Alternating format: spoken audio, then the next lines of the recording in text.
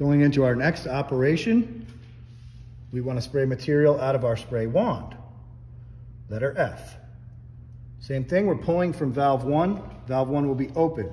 Two will be closed, three will be closed, and four will be open.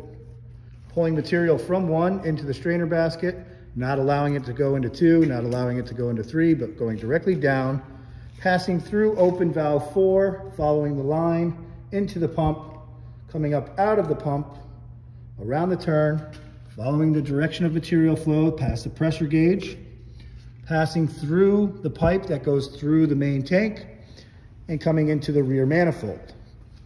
As we hit the rear manifold, we're gonna look at our operation chart. We wanna spray out of the wand, operation F. Valve five, open. Six, seven, eight, nine, 10, 11, and 12 are all closed. Valve five is right here. That's gonna be open and that's gonna start putting material to your wand. Now, it has nowhere else to go if all these valves are closed off. So we'll close off the spray bar and it's full pressure to the wand.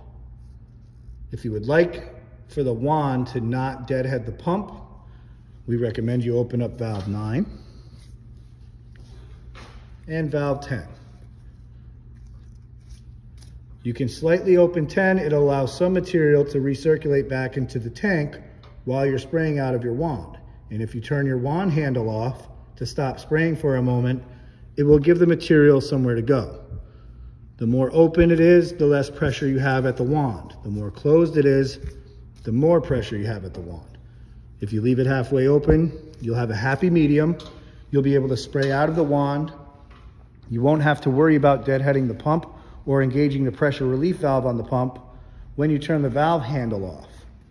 In the off position, this will have nowhere for material to go if you don't have that return to tank valve open as well as number nine on the manifold. If you want full pressure to the spray wand, you simply close the return to tank valve and that gives you full pressure to your spray wand. Once you're done spraying with your wand, we recommend immediately cleaning out with air, putting solvent in the line and letting it soak and we will get to that in our next operational step.